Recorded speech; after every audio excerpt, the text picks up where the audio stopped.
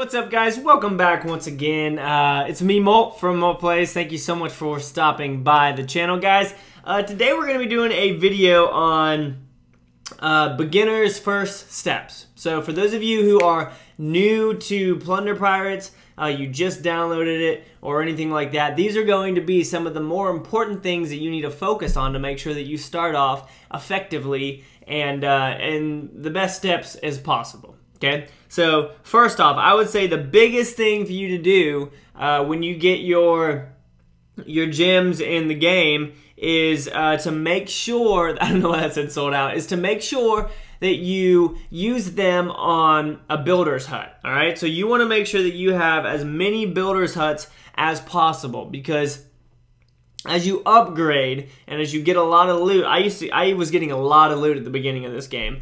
Uh, and if I didn't have my four builders, I would have been in trouble. Now, you're probably not going to be able to get four right off the bat, but you should be pretty close to getting three right off the bat. So make sure that you save your gems, any gems you get from quests or from uh, exploring or any of that kind of stuff. Make sure that you use those on uh, on a builder's hut, okay? And when it comes to upgrading things, it's more efficient. So I guess when you when it comes to using your gems, it's more efficient to use your gems on troops uh, that can get you more loot than to use your gems on the uh, on the upgrades themselves. So say I were to, so we'll go ahead and upgrade. Uh, we'll go ahead and upgrade one of these mines. All right, so we'll upgrade this and just do that. So that's going to be done in 18 hours. That would cost 275 gems. So that would not be a good use of uh, of your upgrade, all right? But when you say you wanted, say I wanted to upgrade this, I could go to upgrade, and you can see that that would cost me, uh, oh. Let me find something that I can upgrade. Okay, so we'll upgrade this.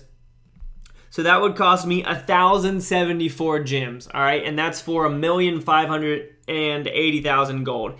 Um, instead of using that many gems, I could just come in here, I could recruit. We'll go ahead and recruit just an army of all bucks uh, and gunners. Uh, so you can see that, so that was over a thousand gems, right, to get just over a million loot. So with 16 gems for a 50 slot um, academy uh, or tavern, I would be able to get a full army camp that could get me upwards of 200,000 gold. All right, so that would be five attacks.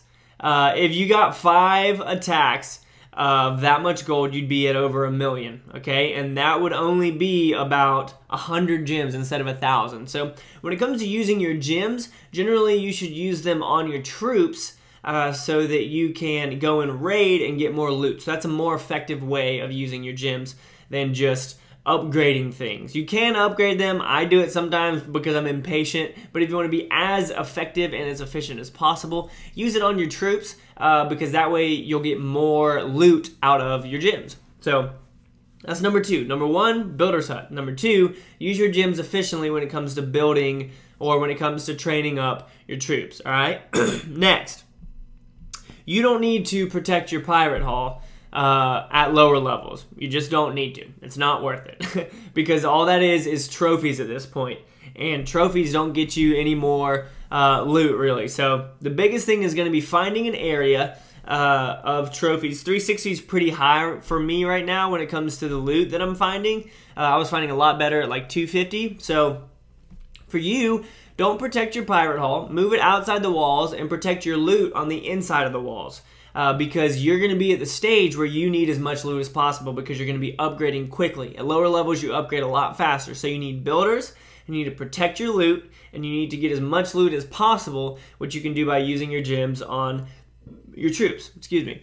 Um, Next, after that, it's going to be very important for you to upgrade your grog distilleries as well as your gold mines. In fact, I'm going to upgrade, uh, let's upgrade this one to 18 hours. So we're going to upgrade two gold mines in this video, and we're going to upgrade two of these grog distilleries as well. Eight, seven, so we'll upgrade this, and we will come over here and we will upgrade, nope, that's a, where's the other seven at? Is this a seven? Nope, that's an 8 too. Wow. All right, so we'll just go ahead and upgrade this one as well. Do I want to upgrade that? now I'm all over the place.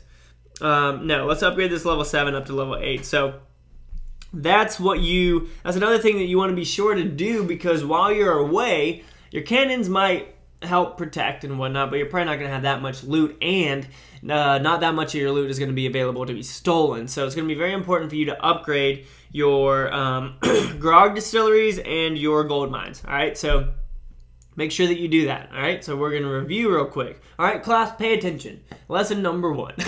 I'm just playing. So builders huts, using your gems efficiently. Um, town hall not being important, but protecting your loot is important. Um, back to number two, using your gems efficiently on troops instead of upgrading things.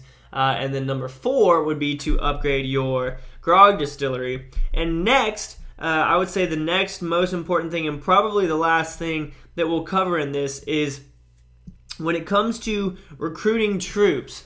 Um, you want to find an army that you're comfortable with, which you'll most likely get used to. Generally, you'll want to uh, have some brutes, and I might actually get a couple of brutes. Um, one, two, three, four, five. One, two, three, four, five. One, two, three, four. Nope, I can only do two. One, one, two, three, four, five. One, two, three, four, five.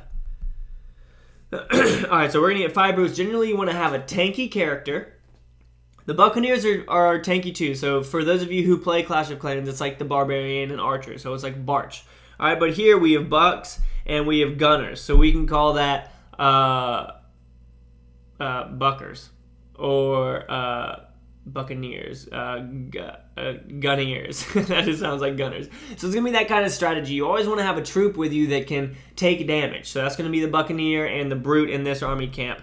Uh, all right, so we'll go ahead and oops, didn't mean to, didn't mean to do that. So we'll go ahead and oh, was this the other one? No, that one's level nine.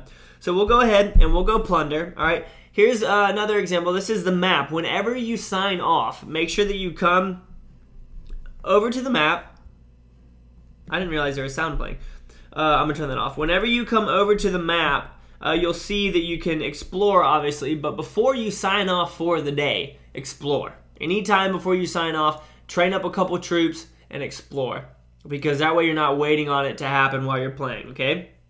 So that's another little tip for you guys as you're beginning in Plunder Pirates. But let's go search. And um, obviously the search is going to look a little bit different than yours is. I know I have a shield. Normally you wouldn't want to break your shield unless you were going to be on for a little while. So there's another tip for you as you're protecting your loot and whatnot. Um, you want to keep your shield as long as possible in order to protect your loot. So you can see this guy, he has his pirate hall way over here on the side, and he does have a bunch of loot that's out and about. Um, shoot, I can probably get a lot of it. We're definitely going to fight this guy. So you'll want to drop down your tanky troops in the front, okay? And then you're going to want to drop down your DPS troops or your gunners in the back just like that. So we're going to drop down two more of these guys, drop down a couple more bucks, and drop down a couple more gunners. And then uh, I guess we'll go ahead and we'll just drop down the rest of them over here. And then eventually you guys will get abilities with your troops as well. Uh, I hope we can get some gold. We're just getting a bunch of grog right now, I think. Um, but the whole point of the heavier troops that have more health and do less damage is that they can take more damage. So they kind of form a wall for you, and the uh, higher DPS troops will be behind them. I think that it's lagging right now, or it's frozen or something. There it goes. Um, it might not have been for you guys in the recording, but the whole point of that is to have a wall of health uh, in the front, and then you have the DPS behind them that come in. DPS stands for damage per second. Then you have the damage per second coming in behind them that will cause a lot of damage. Uh, and we'll go ahead and use this ability again. As you can see, we got a good amount of the grog from this guy and about half of his gold, which is really good. Uh, we're only at 30%, so I'm not really too worried about anything else. We actually just, uh, so we defeated, so we lost, but I wouldn't say that we lost because we got 140,000 grog, 93,000 gold. Um, I'm perfectly fine with that. You'll probably be getting bigger raids than that uh, because when you're in lower trophy counts, that's generally what you'll find. Um, so to review, guys, again, you want to make sure that you have that you spend uh, initially you spend your gems on builders huts, okay, and then after you get your gems if you want to spend them on anything, or after you get more gems, if you get a gift card, or if you get them from doing quests, whatever it may be, you're going to want to spend them on troops because troops will get you. Uh, Troops will get you more loot for the amount of gems that you spend. All right. Then you want to, what was it? You don't have to protect your town hall. You have to protect your resources as you start off. Um, and then training up troops that have a barrier. So like the Buccaneer or the Brute, and then the gunners behind them.